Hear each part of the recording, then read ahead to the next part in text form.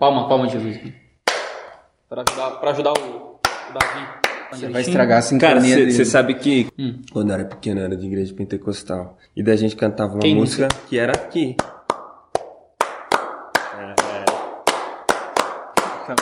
É porque você era presbiteriano, ele sempre foi presbiteriano. frio, Aí ele é frio.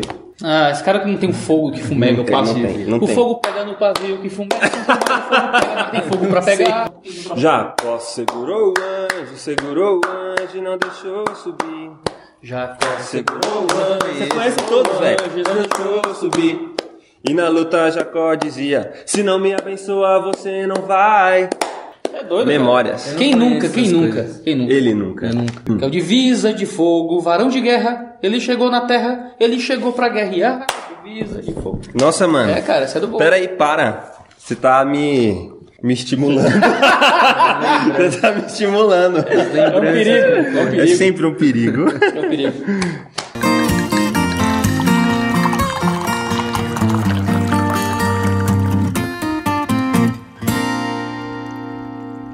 O vídeo de hoje chega até você graças a Box 95, um clube de assinatura literário que manda livros cristãos todo mês para sua casa. O que você tá vendo aí na tela é eu abrindo o Box Família do mês de janeiro, que é o pacote que vem com a Box 95 e a Box Kids, que traz material exclusivo para os seus filhos. No conteúdo da Box Kids, que você pode assinar exclusivamente ou junto com o conteúdo família, vem vários materiais como passaporte de leitura, um adesivo de medição da altura do seu filho, um desenho para o seu filho pintar, relacionado com a história do livro infantil exclusivo montado pelo pessoal da Box. Em janeiro veio a Zebrinha que Perdeu o Pijama, de Joel Teodoro, com ilustração do Marcos Nat.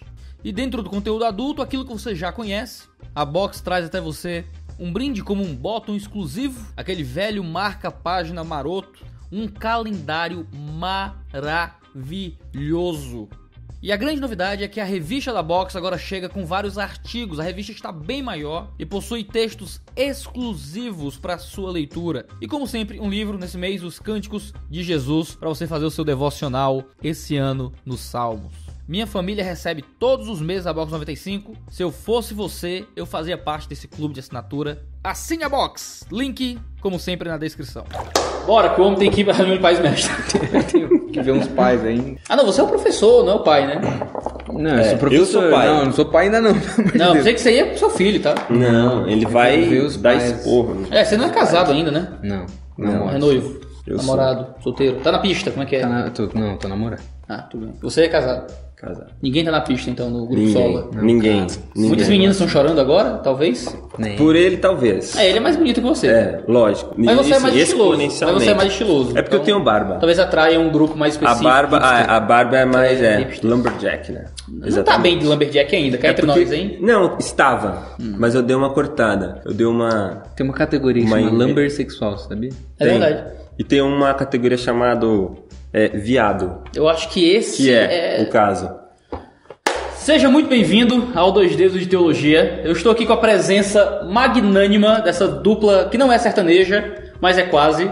É. isso. Os, Gus- os, Guil- Os. Gustavos. Dizer Gustavos. É Guilherme né? E nós estamos aqui É muito Guilherme felizes, é que nós estamos muito felizes aqui de estar com o nosso amigo Tiago Marins. É, quer, quer dizer, Seja muito bem-vindo ao Dois Dedos de Teologia. Eu estou aqui com a presença incrível dos, dos Solas, do, do grupo Sola, do projeto Sola. é, eu nem sei como é que eu chamo mais. incógnita. Nem a gente sabe. Nem a gente Guilherme e Guilherme, a dupla se- sertaneja. Certo? Exatamente. Estou com Guilherme Amarino, senhoras e senhores. Guilherme Andrade. Sou eu? Você lembra disso? E eles são conhecidos mundialmente É. como o Projeto Sola. Mundialmente aqui. Ainda é na rua. projeto? Ainda é projeto? Já deixou de ser projeto? Como é que é? É a história do Ai, projeto cara. é interessante. Porque assim, não era projeto. Primeiro era Guilherme Andrade e Guilherme Marino, a banda. Era pra ser os Guilhermes mesmo. É, aí né? Sola É. Volume 1, Projeto Sola Volume 1 é o primeiro álbum. É o nome do EP, né? A gente foi fazer a página no Facebook, ia colocar Sola. Esse foi o nosso desejo. né? Aí não dava. Daí tinha que colocar alguma coisa. Aí não lembro quem que veio. Assim, não, vamos colocar projeto. Eu falei, nossa, isso é muito ruim, cara. Projeto Sola. Aí ficou. Então, Ficou o Projeto Sola. Fica um negócio meio pretencioso. Projeto né? Tamar, Projeto Solo.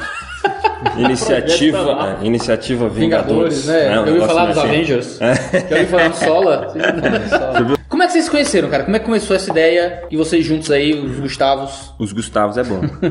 Cara, a- é, nós nos conhecemos num festival, o Esperança Rock Festival, foi na cidade de Guaratinguetá em 2013 2013. ou 2014. Enfim, tempos remotos, long time ago. Eu não lembro se é 2014 ou 2013. Acho que é 2014. É, enfim, foi no comecinho de 2014, eu No acho. começo do ano. É, ele tinha uma banda de rock, que era a carreira solo dele. Guilherme... Ele tinha uma banda que era solo, como é isso? Não, a banda de rock banda era, só que era Guilherme e a Marino e banda. É, Ok. que era. é, Era o Guilherme e o resto. É, e a Rapa. Guilherme contra a Rapa. E, o, e eu tinha uma banda Eles também. não vão ficar chateados não de ouvir isso. Não, não. Era Acho tudo que não. freelance. Eles eram mal pagos, eles já estão chateados. Né? Eles já, Tem- ó, eles já estão. amigos até hoje. É, eles são seus amigos até eles assistirem o vídeo, no É, caso. depois, não, cara, desculpa aí. O- Faz uma postagem. Textão, né? E eu tinha, eu tinha uma carreira Teu também. baterista vai fazer um textão. Ai, meu Deus. Jesus, meu Deus é muito easter egg, Salva, né? Jesus salva. ajuda, Jesus. Jesus salva. Aí eu tinha uma banda também, que é a Guilherme Andrade Banda, que a gente tocava rock mais pesado, coisa e tal. E daí nesse festival é, teve a apresentação das nossas duas bandas e de uma terceira banda que é de um amigo nosso em comum, que inclusive é o Lucas Freitas, que é o cara assim que foi cara, o motim. Conheço ele. Foi É. ele que chamou Boa a gente. É, do MVC, né? Escreve no dois dedos também. Daí o, a minha banda, a banda do Gui e a Compassion do Lucas. A gente, fe- é, ele promoveu um festival de rock lá em Guará, a gente tocou juntos. E daí foi aí que nós nos conhecemos. Daí o Gui, na época, é, no Facebook, ele me chamou pra gente gravar uma, alguma coisa juntos, né? Não, mas tem um negócio antes disso. É, a gente começou a estudar teologia juntos à distância, entendeu? A gente se encontrava algumas vezes. Depois desse festival aí. E o que aconteceu foi que é, vai e vem e fala assim: ah, leva um violão, vamos tocar. Eu comprei um bandolim, não, vamos tocar aí e tal. E aí foi surgindo algumas ideias. É. Mostrei uma música pro Andrade, que foi Redenção. Foi. E No ele me Skype, mostrou. né? No Skype. Ele me mostrou Isaías 53. 53. Tanto que foi um dia que a Tainá tava junto. vocês A mais cantaram. pedida do domingo lá na minha Nossa, igreja. Isaías é. 53. Redenção é Isaías boa, 53. A partir disso a gente começou a falar assim, putz, vamos gravar essas músicas de um jeito simples e tal, de um jeito que, que a gente consiga gravar nós tocando ao mesmo tempo. Vamos, vamos fazer essas duas músicas. É, porque assim, é, a- as nossas bandas, é, solos, elas tinham um, um- Não era um aspecto confessional. assim, é, não é confessional, não, não eram músicas congregacionais, né? Não era música pra culto. Não, não era música litúrgica, melhor, melhor dizendo, não, era, não eram músicas litúrgicas. E daí, essas canções, a gente, nasceu da, da, da, da- da nossa indignação contra o cenário de músicas traduzidas, é, mal traduzidas. E aí a gente tentou atacar duas coisas ao mesmo tempo. Primeiro, é, na, na ala mais reformada, assim, mais conservadora, você tem letras muito boas, muito interessantes, mas esteticamente a- as bem coisas feio. às vezes é, as boas che- cheiram mofo, né?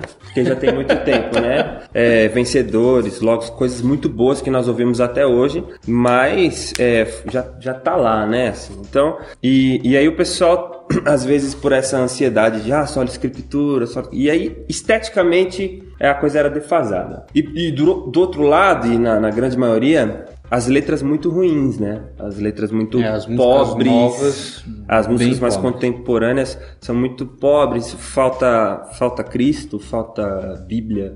E daí a gente tentou fazer uma coisa que fosse bem didática, bem pedagógica, porque a gente acredita muito no valor da música como pedagogia. Por exemplo, sermões a gente esquece muito rápido, mas músicas, trechos da escritura, por exemplo, a único que é digno de receber, então fica, né? Fixa. Por isso que nós temos muita, muitas canções assim que são literais, né? como Isaías 53, a gente tem no Salmo no, no, no- no- disco novo a gente tem 23, 126. temos 126, temos O trecho é, de João 1. Filho de Deus, que é João 1. Então a gente preza muito por isso.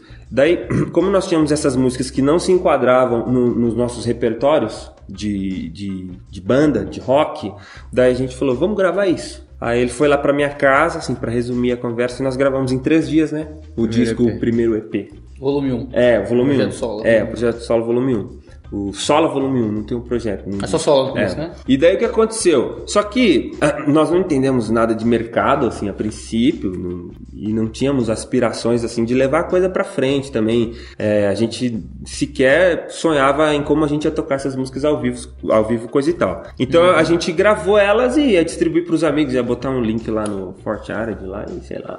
É que pros amigos, assim. Foi o Spotify na época? Não. Não, não tinha. Não, a gente, mas a gente não tinha esse, esse- tipo de aspiração. Nosso maior interesse era assim, distribuir isso para os nossos amigos e que de Próximos. alguma forma as músicas que a gente tinha feito começassem a participar da vida das igrejas que a gente fazia parte. Essa era a, a premissa inicial. Por quê? Porque a gente estava vivendo uma angústia constante em escolher E era música. individual, a gente queria mudar o mundo, a gente domingo. queria mudar as nossas comunidades. Pô, eu vou ter que escolher música no domingo. Aí eu via só ou tradução, que algumas são legais, ou música que não tinha teologia, não tinha conceito de Cristo bem definido, conceito de doutrina bem definido, a falta de cantar as escrituras mesmo assim. E a gente tava sentindo falta disso, de coisas novas nesse aspecto. Não vou desmerecer também as coisas antigas Óbvio, que tem. óbvio. Mas aí, a partir disso, era só para servir a no- as nossas comunidades locais, os nossos amigos. E seria uma coisa muito micro. E daí o Freitas, o Lucas, ele ele ele estava ele estava com a gente num dos dias que a gente estava produzindo. E quando ele ouviu, ele falou assim: "Cara, é muito bom isso. É, a gente precisa de alguma forma estender isso". E a gente falou: ah, Ele, ele foi o É. empresário de vocês aí.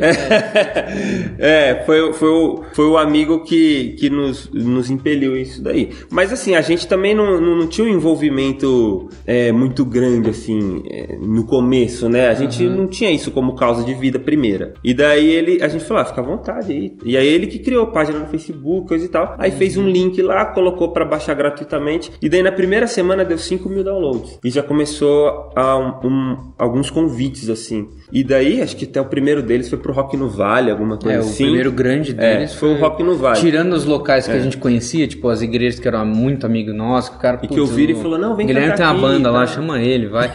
A carteirada do amigo, assim. É, tipo isso. Ah, aí veio Tá o aqui porque conhece o dono e tal. É, e daí assim, três dias que a gente lançou o EP, teve, em uma semana teve 5 mil downloads. Nesses três primeiros dias, o pessoal do Rock no Vale entrou em contato e chamou a gente pra tocar. E daí eu falei assim, ah, beleza, vamos. E daí eu liguei pro Gui, aí ele ficou animado, beleza, vamos. Aí a gente pensou, tá bom, mas como que a gente vai tocar isso? Porque assim, tem trompete, trombone, violino, violoncelo e tal. Eu falei, caramba, como que a gente vai tocar isso, né? E daí que a gente começou a pensar no formato do ao vivo. Porque vocês fazem no CD todos os instrumentos, vocês dois, né? Sim, É, nós dois gravamos sim. todos. É. Mas como é que- Algum, assim, no Imagina, novo, aquele negócio É. de Faustão, nos 30, o homem orquestra, tá ligado? Então, era isso. Um bumbo aqui, um Na negócio verdade, aqui. a ideia inicial, antes de ter todos, todo o arranjo que tem, era fazer um arranjo bem mais simples e a gente conseguir tocar isso e gravar. Mas Ser a- tipo é. algo. Cara, como, como é que chama? Pouca vogal? Já viu isso aí? Sim, sim. Que é o cara tocando boom, tocando, toca gaita, sei lá, e um arranjo super simples. Tanto a gente ensaiou isso e gravou. E quando a gente foi gravando, a gente foi falar, putz, vale a pena tocar, colocar um piano aqui. Vale a pena colocar um tambor desse jeito, vale a pena colocar um efeito. Aí o Gui foi fazendo a mixagem dele e foi colocando os elementos que deram um corpo bem diferente pra música. A ideia inicial era só tipo um negócio muito bem simples. cru. Aí vocês se deram mal no ao vivo agora. Não, aí a gente se deu bem, porque daí que acontece? A gente faz, a gente faz o máximo de coisas possível que dá pra fazer. É. Então eu faço bumbo, não sei se você já viu alguma apresentação ao vivo nossa, mas eu faço bumbo com o pé e o, e o pandeiro, Com o o- tamborino com a outra, e o violão. E canto. E ele canta, faz gaita, bandolim. E alguns, em algumas músicas faz banjo também ou violão. Então a gente faz a maioria das coisas. E daí tem um cara que acompanha a gente que faz baixo, e aí os outros instrumentos eles vão no, no VS, que a gente chama, né? Que é o. É, já, vai, Playback. já vai gravar. O playback. Virtual, é. É. Virtual Sound. E quando é que vocês decidiram ser o Mumford and Sons cristão? Cristãos? no começo. É, no começo. É. do começo. É, na verdade, o cenário, o cenário folk, ele é, ele é bem underground, ele é bem assim. Aquém do mainstream, mas é muito grande. São muitas bandas, muita coisa boa acontecendo. E assim, o Mumford foi talvez os que conseguiram. Talvez, talvez. Os que conseguiram, assim, acender mais mundialmente, né? Então acaba que eles ficam mais conhecidos como os donos da cena e tal, mas tem uma série de Ah, mas bandas, eles, tipo- eles viraram British Rock agora, né? O negócio ficou bem. É, uma mudada, é, sim. O que é legal também, né? Se você ir se ressignificando. Mas aí você tem The Lumineers, você tem Nossa, Of Monsters and Men. Jungle Nossa, Giants, tem- tem, é. Lighthouse and the Wailers, tem, tem muita gente boa e até mais raiz. Você pega o é, Josh Garrell, você tem o Bob Dylan, você tem o São Johnny caras Cash, mais são raiz, caras né? mais raiz do folk. Então tudo isso veio como influência pra gente na composição. Hum. Ela já vem na- antes da proposta da gente se unir, era tipo, ó, fiz uma música aqui lembrando o estilo é, o folk é americana, né? Tipo, que é um pouco de bluegrass, um pouco de blues, um pouco de country. É. Mas aí a, a, o Mumford Sons é assim. É, A respiração. inspiração, Isso é verdade. sei lá, primeira. Assim. Tem algumas músicas de vocês que eu percebo. É, boa bem- influência, é, assim. Boa influência. é. E a gente gosta, principalmente no, no disco novo, inclusive a gente fez de forma intencional alguns trechos, assim. Alguns trechos É. de, de algumas das músicas que a gente mais gosta, a gente inseriu, assim, uma espécie de easter egg. Então, é tipo o filme da Marvel, assim. Quem, quem, ass- quem, quem assiste e, e- e não É, entende nada do é que uma- tá acontecendo, às consegue vezes é se uma entreter. rítmica que é igual, às vezes é um, um acorde, uma sequência. É, o cara consegue Isso se é legal, é entreter, ou, ou se o cara, ou se o cara conhece tudo, ele, ele vai aproveitar ainda mais. É, Aí vocês lançaram agora o 500. 500. É. Veio na box 95, né? veio. Você vê que Olha coisa só. legal? Chegou lá, cara, em casa Não veio lá na no minha. negócio. Não veio na tua? Como assim? Sei lá. Eu abri a box. Eu falei, assim, nossa, legal, né? Os caras mandaram pra gente consideração. e tal. Peguei assim, peguei o Não livro do veio o CD. Smith, É. tirei, era a última coisa. Tirei assim, cadê o CD? Então, acho que faz sentido. É. então, mas quando eu recebi a box que veio com o meu pensa- livro, veio com o meu livro. Ah, é? Sério? É, acho que o cara Acho pensou que o cara assim, já tem muito. É. E aí eu vou. Não, brincadeira. É que no caso Na verdade, eu, é eu uma abro logística. no dois dedos, né? pro- Então ele precisa Você botar um tudo pra galera ver. Não, mas eu acho que. Acho que eu acho que mesmo. foi. Como é que é? Acho que esqueceu mesmo. Ah, algum gap logístico, É, né? ele não Porque gosta é de vocês, muita- será que é isso? muita- Mas um dia, se a box estiver assistindo, eles vão mandar um pra mim. Abraço, mano. Vai te mandar um CD teu? Eu não tenho ele. tu não tem CD? Não, ficou tudo com eles. Ah, É foram porque, eles que é porque a fizeram. gente Ah, fez entendi. uma. É porque foi assim, a gente fez uma versão promocional pra box. Entendi. Que é no- numa, numa, numa tiragem mais simples, assim, no, no sentido É, de. na capa. É, menos coisas e tal. Agora o que a gente tá fazendo, uma edição mais luxo. luxo, ela tem. É, e daí ela Uma tem encarte, várias tem várias coisas. Ah, não, se fosse colocar isso na box, fica inviável financeiramente. né? É, fica É, legal dá, é financeiramente. Vem um álbum. Pra todos nós, é. É, não, até eu. Mas vai ficar bem legal. Inclusive, a gente vai pegar lá na, na fábrica essa semana. O, Aí. o disco novo. É, já ficou pronto, né? Só pra você pegar. Pensei que eu ia sair daqui com ganhar de é, presente. é. Essas coisas, né? Você ganha de presente, entrevistado, Pois é, quem sabe chega um lá em Um lá, Fortaleza. Fortaleza. Opa, coisa boa. Quem sabe chega uma caixa sem CD lá. Uma caixa de CD? Uma, caixa, sem CD. é. Uma caixa sem CD. Não, eu já tenho a versão da box. Só que chegou, eu tava vindo pra cá, cara. É. Sério? Já É. chegou, eu tava de viagem quase. Aí você nem abriu Eu- ainda. não, cara, eu abri a box pra colocar no, no Mas você vai fazer unboxing lá? Já fiz, já Ah, está no fez? Facebook já, do. Ah, é? Legal, Mas eu não vou ver. consegui ouvir o CD ainda. Você falou bem do nosso disco lá? Ah, no cara, demonstrei uma sincera surpresa Tá bom, e admiração pela legal. presença. Porque aqui tem um microfone seu, em qualquer momento ele pode cair. Cara, e quais são os projetos aqui pra frente? Bom, a gente Pergunta vai... de entrevista clichê, né? É, nossa, tem que essa, ter. é, essa é boa. Na verdade, a gente tem um apreço muito grande pela igreja local. Sim. Então eu tô. Estamos aqui na igreja que você serve, né? Isso, eu sirvo. Esse é um batista que tá desviado aqui na igreja presbiteriana. Eu sirvo e esse é um presbiteriano que se converteu e tá na Eu, batista, né? Se convertendo. o É. bom é que ele tá garantido, porque já batizou várias vezes, né? Ele, né? Minha meta de vida tem uma carteirinha assim. Batismos. Igual de vacinação. Já veio da católica, já? É que é? Não, Ah, não, chega ainda lá no céu, tem várias filas, aí ele vê qual que tá menor. Ah, eu vou aqui na fila dos batistas. Pelo menos eu garanti. Porque né? a fila dos batistas vai estar menor, né? só você entendeu? No- Brincadeira. Cara, Um monte de batista É. nesse momento. dislike. Dislike, dislike, dislike. Gente, eu sou batista. Eu É. sou batista, eu juro. Enfim, Mas, os projetos daqui pra o legal, frente. O legal é a, a Vai digressão embora. maluca que ninguém tá nem aí. É, cara, teólogo é difícil, né, cara? É, então, é o que acontece. Vamos falar disso lado Mas do mas vocês Vamos estudaram fazer? teologia de verdade, Sim, né? eu Vocês- estudo ainda. É, de verdade não, eu não estudei de verdade, estudei assim extraoficialmente. É, Não, mas desenvolvimento fizeram pessoal. alguma coisa na faculdade. Eu tô estudando ainda. É, pô, é muito interessante tipo, esse, esse interesse, esse movimento que tem surgido de, de teólogos que são musicistas, entendeu? De- Ah, É importante. Ó, Porque isso não é uma coisa que existe. muito por aí no, no- no mainstream do gospel. Não. Ninguém é teólogo, tá ligado? Ninguém tá E preocupado. ninguém se interessa, né? A ideia Ninguém de se Lutero de que, de, que o sermão, de que a música é um sermão cantado, né? É muito bonito o que o Lutero É, que fala, o um Lutero predicatio sonora. Uhum. É a música na igreja. É, Sim. Lutero também era músico, ele compõe no, no Tocava começo banjo. ali é, alaúde. Era laúde? É. Então era, ele tocava banjo Banjo não também. existia Alaúde, banjo não existia na época. Ele tocava alguma coisa parecida Banjo com é. 1800 Alaúde. e. O alaúde parece É, banjo? Alaúde é um instrumento de oito cordas. Ele tem, é, tipo... uma- ele é meio redondo ele é também. redondinho aqui, tem o braço e a parte de afinar ele é tipo contrária, assim, perpendicular. É um instrumento... Toda vez que você vê um negócio medieval é sempre o alaúde que tá aparecendo. Às vezes bandolim, mas geralmente é O alaúde. Bandolim já tinha. Bandolim já Slavo tinha. Montenegro já tocava. tocava. É, provavelmente. já. Mas o Lutero, ele compõe, acho que são 23 é, hinos. É, o primeiro inário quem, quem vez, organizou é. foi o Lutero, né? E ele entendia que, que a comunidade tinha que cantar junto. Por isso ele faz o primeiro inário. E aí ele tem também uma, uma atitude até meio drástica, mas que foi muito, pragmaticamente assim, foi muito importante, que é tirar a harmonia. Não tinha harmonia. Cada, ah, o cara do órgão tocava uma nota Uma de cada nota. vez. Que era só pra afinar a congregação. Pra todo mundo ouvir aquela nota e saber que tinha que cantar aquela nota. Então era Então um- não tinha assim uma mistura de sons que fazia um ambiente, não era só melodia. Eu tava lascado nesse lugar aí. É, fosse me não afinar- consigo cantar. Você ia cantar na dissonante. É, em um intervalo trítono, assim. Ser, esse ia ser o Melkor do, do Tolkien, o cara que canta dissonante. Eu seria o Diabolos em música, tá ligado? Sim, exatamente. É o trítono.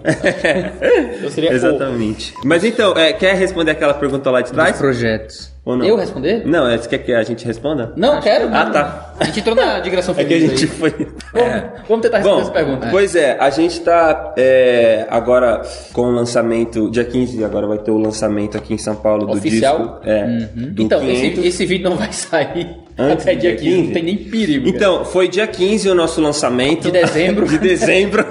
Então, esse vídeo vai sair em janeiro ou em fevereiro, provavelmente. Cara, há seis meses atrás, né? a gente lançou um disco.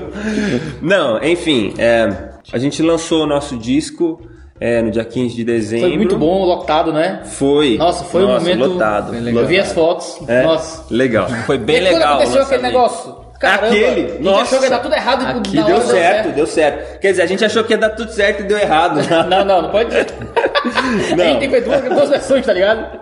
Uma triste e uma feliz, um negócio assim. Preparado. É, que aí o, Aí o editor escolhe. É o editor escolhe. Enfim, nós lançamos o nosso disco no dia 15 de dezembro, Uhum. aqui em São Paulo, no Teatro do Mackenzie. E agora o nosso projeto é andar pelo menos um, um ano ou dois anos. Minha vida é andar por esse país.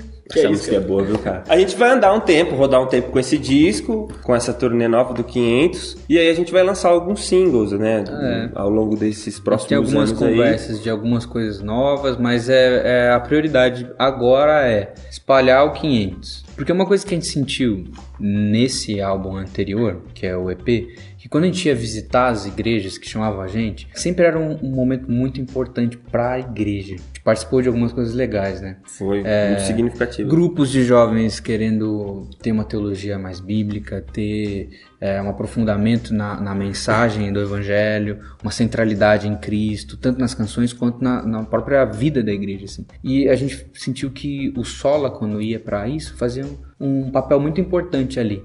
Então, acho que rodar um pouquinho esse álbum é a prioridade primeira. Sim. Assim, depois a gente pensa. E outras nós, coisas. pessoalmente, nós temos um apreço muito grande pela igreja local. Então eu sirvo aqui na presbiteriana como pastor e ele serve como pastor auxiliar, né? É. E coordenador de música também lá na Igreja Batista São, Paulo. E aí a gente se envolve bastante com a vida da igreja, que para nós isso é é o que não vai passar, né? E os domingos, quando as igrejas chamam pra vocês ir lá? A gente não domingo? vai. Vocês não É, vão? geralmente a, A gente maioria não. procura, a gente procura não ir nos domingos. Às vezes acontece a gente ir para algum lugar muito longe, por exemplo, como vai acontecer o ano que vem, que a gente vai lá para Fortaleza, que você vai chamar, no caso, porque eu já tô assim, né? Tá pra Enfim. Você Lá pode- tem praia lá perto? Lá, Você lá. reprovou geografia na escola, filho? Fortaleza. Não, não, eu tô de de praia, praia, eu sei, pô. perto da sua casa, tô perguntando. Não, na minha casa não. Então. Eu moro mais saindo da cidade, quase. É? Quantos quilômetros? Não, mas eu acho que, tipo assim, se for pegar uma praia Uma praia boa. Praia boa é fora de Fortaleza. É na região metropolitana. Uma horinha de carro você tá lá. Então, então é, É pra lá menos, às vezes, que ir, 45 então. minutos. Lá. Enfim, aí a gente, a gente quer trabalhar na igreja, nas nossas áreas. Cara, é bom demais ouvir isso, sabia? fazer. É, porque assim, a gente, a gente entende que é, o caminho ele tem que sempre ser. Fazer uma, uma hermenêutica bem alegórica aqui. Faça. Clemente, Orígenes. Mas assim, a gente entende que é, é da Judéia, Galiléia, Samaria, até os confins da terra, não dos confins da terra pra cá, né? Então, às vezes eu penso que a- as pessoas ficam muito preocupadas em, em ganhar todas as coisas e muitas proporções Sim. e tal. Eu acho que as proporções do trabalho que a gente vai fazendo, ah, é Deus que tem que dar na medida que ele achar que é interessante. né? E elas vão ser consequências da proporção do nosso trabalho pessoal. Então, assim, o solo ele nasceu nessa toada e eu acho que ele deve permanecer assim. Ele nasceu com o interesse É, de o servir a interesse igreja é de vocês. servir a igreja nossa. Informalidade, amizade e, e, e essa coisa de em micro, sabe? Em comunidades E aí locais. você parte do micro, ma- é um negócio meio que é centrífugo, né? Você parte de um ponto e isso, isso espalha naturalmente, sem, Sem querer abandonar, forçar. sem abandonar o ponto de, É, de contato De referência, é. Muitos desses caras eles começam com banda, com essas coisas, e às vezes são, é quase como fuga da vida da igreja, né? Exatamente. Um E às vezes você Exatamente. vê o cara tem vários problemas com a vida da igreja. Sim. Sendo que a, a nossa O cara usa drogas, o cara, né? Nossa, bizarro, bizarro. Muitas vezes não tem envolvimento de igreja, não tem pastoreio, não tem ninguém perto. Sim. A pessoa começa a se dar a uma vida de, de abandono da comunidade Não para o serviço grupo de outras comunidades. Exato. E a, a vida, a, a vida cristã dentro da igreja, já vai dizer o autor de Hebreus, você não pode retirar isso, você não pode deixar de se reunir, entendeu? Você não pode deixar de ter um grupo fixo cristão e querer ter um grupo Volante. beduíno, assim. É. Ficar, ah, um dia eu tô na igreja lá, eu tenho aqueles amigos lá, um dia eu tô na igreja lá, eu tenho aqueles amigos lá. Só que ninguém vai te, é, ter o contato tete a tete, o contato de Ferro confronto. a ferro. Porque você não vai, não vai afiar. É, então a gente preza pela vida local. Então, assim, amigos mais locais, amigos mais constantes. Lógico que a gente vai viajar bastante. E dentro dessas viagens a gente vai encontrar amigos muito preciosos. Glória a Deus por isso. Só que nunca eu acho que tem que ser um fator é, primordial a viagem. A viagem ela é algo não essencial, mas só que faz parte. E o essencial ele é a vida na igreja. É o que a gente tem pres- prestado atenção para isso, até tomado cuidado. Porque num, num primeiro momento a tentação de sair, a tentação de tocar em vários lugares, putz, é maravilhosa. E é aquele, aquela tentação que é a mesma tentação de Cristo, a tentação de ser relevante, de falar, nossa, eu estou fazendo algo que vai mudar o mundo. Não, cara, calma aí. Tudo isso te darei se prostrado me adorares, É. né? Sem se submeter às expectativas do mundo.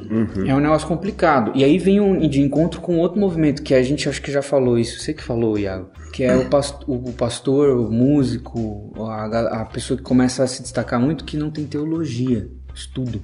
É. é porque a gente entende assim que o que a, a igreja local ela é uma estufa de virtudes. Então, se você é médico, se você é engenheiro, se você é cientista político, seja o que você for, essa realidade não pode estar descolada da igreja, né? Porque senão você cria um ambiente onde Cristo não é o Senhor. E a igreja é essa estufa onde vai onde vai nutrir e gerar as virtudes necessárias para o nosso trabalho no mundo. E a gente, como músico, não tá, não tá longe disso, não é porque a gente está prestando um serviço é, ministerial, um serviço cristão nesse sentido, Exatamente. é, que a gente tem que estar descolado da realidade. da É engraçado que isso, isso para algumas pessoas, talvez, que possam estar assistindo isso, que desejam o ministério, podem ver isso como um peso. É. Mas é interessante que isso é, Não, é é libertador. gostoso, cara. Isso é abençoador. É, é- é incrível. É. Porque no começo, eu- quando eu me tornei pastor, eu, eu- antes de ser pastor, eu viajava muito. Uhum. Né? E agora eu sou pastor da igreja, eu não posso ficar viajando tanto. Só que como eu sou pastor auxiliar, é mais fácil, tem um pastor titular lá, eu sou um auxiliar, Ah, são sim. dois lá. Ah, e aí disse, Iago, viaja, falta, você pode faltar, falta um domingo por mês. Uhum. Um domingo por mês, eu sou auxiliar, não, é, é um quarto da atividade, é um, meio que um quarto, né? Uhum. Mas tem um pastor titular e tal, beleza. E, e eu fico com vontade de viajar menos. Uhum. Entendeu? Não é de viajar sim, mais. é. É de estar na minha igreja, de ver os irmãos, de ver o grupo de jovens, de ver as mesmas pessoas, de ouvir o mesmo grupo de louvor. De ver as Sabe? crianças crescendo e É, cara, entendendo de tá melhor no lá. evangelho, Porque né? é o senso familiar de pertencimento. Sim. Entendeu? A proposta cristã de igreja ela é uma proposta familiar. Não, não vai ser Tem toda a isso. doutrina da adoção, né? Então a gente, a Fal- gente Faltar um culto é tipo faltar o Natal, tá ligado? Na minha, Uhum. na minha família, sabe? É um negócio tipo assim, eu queria estar na minha igreja, eu não queria estar aqui. E vem de encontro. É. E o domingo coisa. nós é muito importante. O, o domingo enquanto dia santo de Deus, assim, a gente Aí vocês são entende. tudo isso. presbiteriano aí, tudo... É, a gente entende muito isso. Domingo é importante. É, mesmo. cara, e e a gente fica sempre, às vezes fica muito triste porque quando a gente abandona essa, essa vida de igreja, dentro do ministério, você fica cego por uma série de, de coisas que o ministério começa a cobrar de você, que o sucesso, a relevância, as pessoas. E às vezes alguém falando com você, a pessoa não percebe. Eu, eu tento às vezes me relacionar com algumas dessas pessoas que às vezes são bem famosas, estão lá e tal. E às vezes num, num- num diálogo é, é estranho, é, é parece que tá falando outra língua, cara. É. São outros desejos, Não, e são coisa, outras é, prioridades. Exatamente, exatamente. Sabe, é- E, coisa, e coisa assim, a, a gente que, sei lá, é, a gente tem que ficar treinando nosso coração pra coisas simples, assim. Vou, vou te dar um exemplo, um exemplo bem nessa linha que você falou. A gente quando viaja, geralmente a, a pessoa que chama, a pessoa que contrata, é, paga alimentação, hotel, esse tipo de coisa, né? Que é o comum. Você acostuma a, a chegar no restaurante, pegar o prato e, e dar comanda pro cara que tá lá te acompanhando. Isso é o normal que a gente sempre faz em viagens. E É daí, comida, cara. pa- passagem, comida, é, hospedagem. Passagem, é comida, hospedagem, é. E daí, o, assim, eu já estive com, com outros artistas que a gente estava em encontros informais, em encontros que não era agenda de ninguém, e que, assim, eu vi o, o- acontecer isso, do sujeito pegar a comanda e. Ah, pra quem que eu entrego a comanda? Sabe? Entende? Bizarro. Então, assim, você tem que ir Nossa. treinando seu coração pra você não virar esse tipo de, né? Ter esse tipo de atitude. É, enfim. é, e a vida na igreja, ela te ajuda nisso. Porque na igreja tu é só o cara da igreja, tá ligado? Da igreja, da tu é um servidor da igreja, né? É, você vai lá servir a igreja. Um ponto importante da gente frisar aqui, que quando a gente fala de vida na igreja, não tá falando de explicitamente somente encontros eclesiásticos. Estar no culto no Li- domingo. é, De- liturgia, ah, né? a nossa vida de igreja é você fazer o culto de quarta-feira, o culto de oração de sexta, tá com jovens ou dirigir a banda no domingo. Não, a vida da igreja é você passar o tempo com a igreja nas diversas, nas diversas atividades que a igreja, ou seja, as pessoas, estiverem fazendo. Então é eu ter tempo pra ir na casa de alguém, é, jantar com alguém, almoçar com alguém, sair para tomar café com alguém. No domingo eu tá ali na, na igreja e de repente após o culto, que de manhã, no caso da, da Batista São Paulo, eu almoçar com eles. Então esse tempo é precioso. Esse tempo que às vezes nos falta. Tanto às vezes pela vontade de ficar viajando, Sim. ou às vezes pela vontade de só fazer coisas eclesiásticas. E, e às Ou vezes só- é isso é. que acaba gerando, desculpa, que acaba gerando o desinteresse na vida de igreja e achar que é desimportante. Exato. O cara chega na hora do, do proslúdio, sai quando acaba o prelúdio, o, o, troquei. Trocou, é. A pessoa chega na hora do, do prelúdio, sai, sai do assim que acaba o proslúdio, a gente chama isso lá de a moda beija-flor, sabe? Gente, na, na fuze- E sai. E sai. Aí não, aí desse jeito, claro, você vai achar que a igreja é uma coisa realmente, realmente Exatamente. interessante. É, eu acho assim, a, a gente é muito próximo, e aqui já fica uma dica também pra todo mundo que tá assistindo, a gente é muito próximo do pessoal do movimento Mosaico, Mosaico. lá do. Sim, pessoal do Mosaico, beijo. Pijama, Pijama. Rafa, pijama. Pedro Dutti, enfim, nossos amigos preciosíssimos lá de Paulo Goiânia. Júnior. Eles fazem amarração para o amor, é muito legal. Exatamente. e assim, e uma das coisas assim que eu aprendi. inimigos na mesa comum da comunhão. É. Aleluia. E assim, um- uma, da- uma das coisas assim que eu aprendi com eles e que foi muito importante para minha caminhada é que a amizade cristã é uma atitude intencional. Não é uma coisa orgânica assim do, do cara que estudou junto, cresceu no mesmo condomínio e, e aí ah sou amigo do fulano. Não é orgânico. É, é, é uma escolha, é uma escolha ativa, uma escolha racional de se relacionar com os irmãos e de e nisso você se sacrifica, porque aí você gasta dinheiro, você gasta tempo, mas você tá junto, entende? Então a amizade cristã, ela ela ela ela floresce nesse nesse terreno. Então a gente tem que prezar muito por isso, porque senão você pode se sentir arrogante, você pode eh, se desinteressar pela vida da igreja. Ou às Então- vezes quando você é líder você pode se sentir único ou necessário dentro da igreja. Você é Ou- só o cara. então você é tem muitos eu. Valentes. você é bom demais pra sua igreja. É. É. Você começa a cobrar da igreja coisas que. Exatamente. É e assim, você tem muitas valetas. Se você sai da, da. Se perde o fio condutor da igreja local, você tem muitas valetas que você pode cair. Então a gente preza muito por isso, a gente é, é, entende que isso nos salvaguarda. Nossos pais, é, no meu caso minha esposa, no caso do Gui, a, a Júlia, e, enfim. É, a gente entende que os nossos amigos, as nossas famílias e as nossas igrejas é, nos são escudo, assim, pra... É, vocês fazem música pra igreja, a partir da igreja. Exatamente. Eu acho que é isso que faz o Isso solo é- ser o que ele é. o propósito bom. do solo é, é, é quase nada.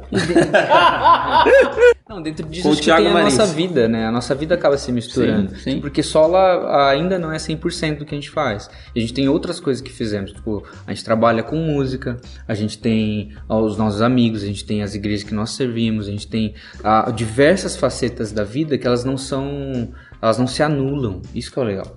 Acho que o que a gente tem experimentado hoje, participando de igreja local, participando de trabalho em escolas, por exemplo, que nem eu faço, que nem o Gui faz, produção musical em diversos setores, é uma integralidade, entenda a integralidade, não é de uma forma que unifica todas as coisas debaixo do mesmo senhorio. Então, Cristo Senhor de todas as coisas, Cristo Senhor de todos os nossos interesses aqui, inclusive interesse de trabalho, familiar, amoroso ou ministerial.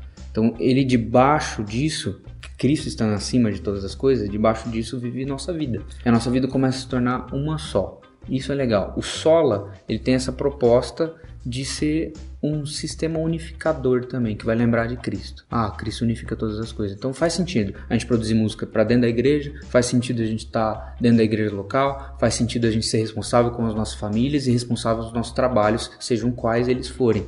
Por quê? Porque é o princípio que vai reger tudo isso, o senhorio de Cristo sobre todas as coisas. Quer a gente estando numa mesa de almoço, quer a gente estando num púlpito de domingo pregando em qualquer lugar ou tocando em algum show, sei lá, como a gente vai estar no Rio Barbosa. Ou esteve. Como nós estivemos no Rio Barbosa. É. Cara, foi muito bom, cara. Aquele negócio aconteceu. É, nossa, que show, viu, gente, cara? muito obrigado por. Os estar aqui com a amigos do resgate estavam lá também, tocando. Os amigos do resgate. É, Olha só amigos. como é esse negócio de entrevista, né? É, os Meus amigos Virou amigos, dos amigos, cara. né? É. Só pra, pra vocês. Pra você não? Ah, não, não sei. Pô, os nossos amigos do resgate estaram lá tocando Ah, com a eu queria, eu queria, eu queria. Não tô, não tô desprezando. Pelo contrário, eu acho que eu não, acho que eu não sou digno de desatar as sandálias da amizade. eu só sou um cara que entrevistou. gente, muito obrigado por estar aqui com a gente no Dojo de Teologia. Vai procurar, se você não conhece o projeto Sola, no Spotify, tá lá? Spotify. No Deezer, tá, lá? Deezer, a, a iTunes, Apple Music. Nessas paradas todas, você dá um google que você acha, certo? Você, é, você chega lá no YouTube, esses negócios? A gente tem. Tem. Temos. Vai estar tudo aí na descrição, certo? Pra você conhecer ah, o canal do Sola, o material aí do, do Grupo Sola. Se você está debaixo de uma caverna ah, há uns 5 anos, aí talvez você não conheça o Sola. Mas aí você pode conhecer mais a música pra sua igreja, certo? Você sabe o que fazer, você se inscreve aí no canal do G Teologia. Esses negócios todos, compartilha É, com seus tem- amigos. Não esquece o sininho, não tem É, tem esses, tem esses negócios todos aí que você tem que fazer. Você sabe o que, é que você tem que fazer.